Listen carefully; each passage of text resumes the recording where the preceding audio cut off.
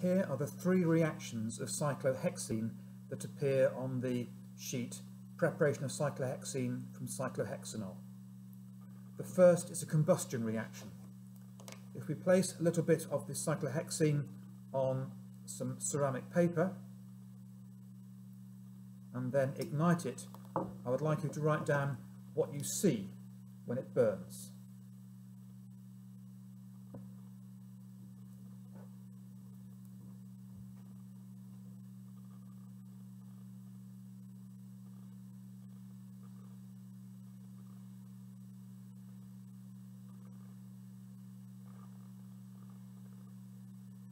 Look at the flame and describe it please.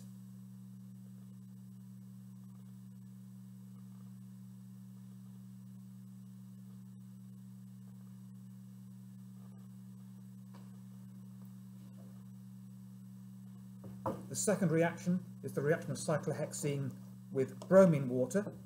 So if we put some cyclohexene into a boiling tube,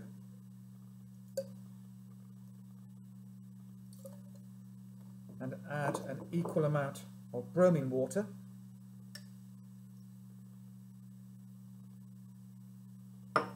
and then shake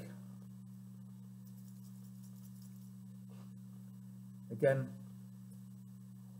please describe what you see in the boiling tube.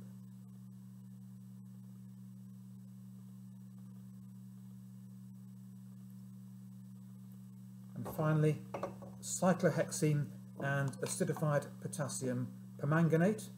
Again, we'll put some cyclohexene into a boiling tube, add roughly the same amount of acidified potassium permanganate, which is a purple solution,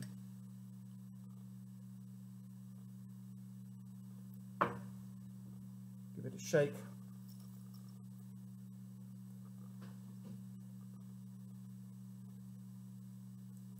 And again, please write down the observation you can see there in the tube.